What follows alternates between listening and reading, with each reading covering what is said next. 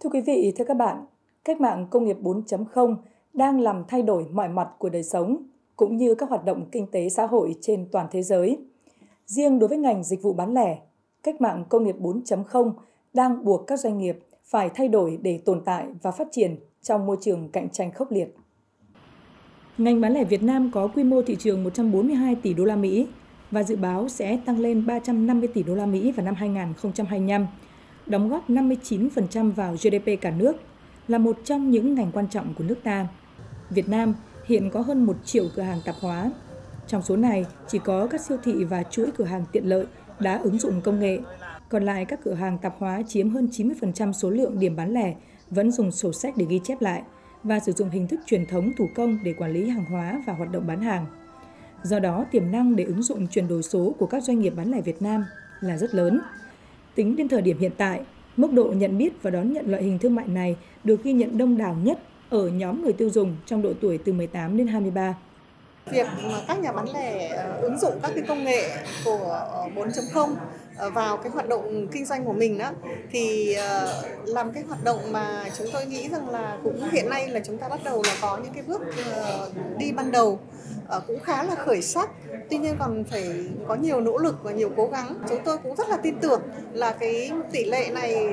những cái ứng dụng các cái công nghệ 4.0 sẽ càng ngày càng nhiều. Và chắc là khởi đầu với cái việc là chúng ta có thanh toán điện tử thanh uh,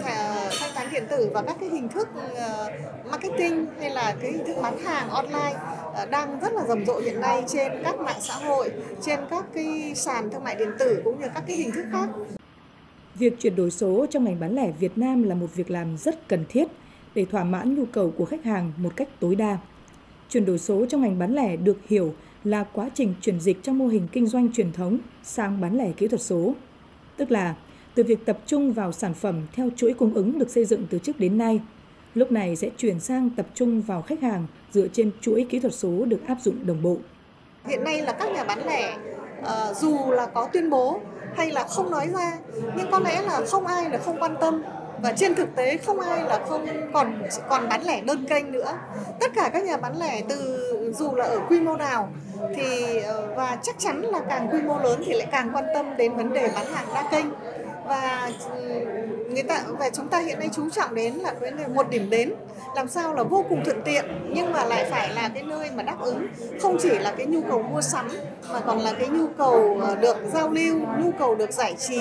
và nhu cầu được trải nghiệm cái quá trình mua sắm đấy và đấy là một cái xu hướng mà tất cả các nhà bán lẻ đều đã hiểu và tôi nghĩ rằng là sẽ làm ờ, sẽ làm và sẽ có cái bước phát triển trong thời gian tới. Thì đây là một xu hướng tất yếu. Thì đối với một số thương ngành à, hàng bán lẻ được chịu tác động trực tiếp đến việc này, thì mỗi một doanh nghiệp À, của ngành hàng bán lẻ. Để ý thức được chuyện này thì à, thay vì đầu tư hàng ngàn tỷ đồng để vào đầu tư các sàn thương mại điện tử thì chúng tôi phối hợp một số cái ứng dụng khác. Hiện nay ví dụ như là chúng tôi phối hợp với VNPay để làm à, à, thanh toán à, không dùng tiền mặt à, với Momo và một số cái ngân hàng để chúng tôi để tăng cái việc mà số hóa mà chuyển đổi. Thì đối với cái hệ thống cốt mát chúng tôi hiện nay chúng tôi thay vì à, chúng tôi đã chuyển đổi số ví dụ như hóa đơn điện tử à, Boss Omni à, chúng tôi à, nhập à, tự động và một số cái, cái, cái gọi là cái nền tảng à, công nghệ để à, hỗ trợ cho cái à, cho à, cho cái việc bán lẻ. Theo báo cáo ngành bán lẻ do hãng tư vấn McKinsey vừa công bố, sau đại dịch Covid, 60% người tiêu dùng Việt Nam tìm cách tiết kiệm tối đa khi mua sắm. Dù vậy, Việt Nam vẫn có mức tăng trưởng tổng chi tiêu hiện đạt 5,5% một năm, cao hơn mức chung của khu vực, đã cho thấy thị trường vẫn còn nhiều cơ hội. Người tiêu dùng sẽ chú trọng hơn tới hàng hóa thiết yếu, các hàng hóa được sản xuất theo hướng xanh với tiêu chuẩn cao. Do đó, các doanh nghiệp Việt Nam không thể bỏ qua xu hướng này. Trong năm 2022, à, Sài Gòn có hệ thống có mát của tôi tỷ lệ doanh thu của thương mại điện tử là chiếm khoảng từ 5 đến 6 phần trăm và mục tiêu trong 2023 chúng tôi sẽ nâng tỷ lệ này lên. Và hiện nay thì à, cái à, đối với hệ thống bán lẻ của, của Sài Gòn cố thì à, ngoài cái việc mà chúng tôi đưa đưa cái trực tuyến gần với trực tiếp và đưa trực tiếp gần với trực tuyến thì chúng tôi sẽ chuyển đổi một số cái mô hình đa kênh và phối hợp thay vì đầu tư là cái sàn thương mại điện tử thì chúng tôi sẽ phối hợp với một số cái cái ứng dụng mà hiện nay là có một số cái uh, sàn khá khá là lớn có đông người sử dụng như TT, uh, à, GrabFood hoặc là Bimin để phối hợp để cùng để phát triển cái ngành hàng thương mại điện tử của mình. Năm 2022 thì với doanh thu của chúng tôi là trên 15 tỷ, quý 1 năm 2023 là 5 tỷ và với ứng dụng như thế thì chúng tôi đã có những cái thành quả nhất định. Bọn tôi đang muốn là lên cái sàn thương mại điện tử để phát triển mạnh thêm một chút nữa. Thứ nhất là giúp cho chúng tôi là quảng bá được thương hiệu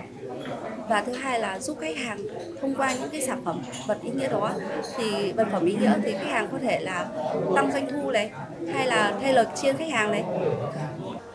ngành bán lẻ Việt Nam phải chuẩn bị các nguồn lực để sẵn sàng đối đầu với khó khăn và giành lấy cơ hội để bứt phá tăng trưởng trong bối cảnh nền kinh tế trong nước nói riêng và kinh tế toàn cầu nói chung được dự báo vẫn còn nhiều biến động. Nhiều năm nay, mặc dù thị trường bán lẻ Việt Nam đã và đang được nhiều chuyên gia kinh tế đánh giá là một trong những thị trường thuộc nhóm sôi động và giàu tiềm năng nhất thế giới. Tuy nhiên, sự chuyển mình của các xu hướng thương mại bán lẻ trong thời đại mới và sự thay đổi trong hành vi mua sắm của người tiêu dùng trong hiện tại cùng các dự báo trong tương lai đang đòi hỏi Việt Nam vừa cần nhanh chóng tận dụng thời cơ, vận hội, vừa có sự chuẩn bị cho các đối sách trước những thách thức mới, đặc biệt trong bối cảnh hội nhập toàn cầu hiện nay. Thank you.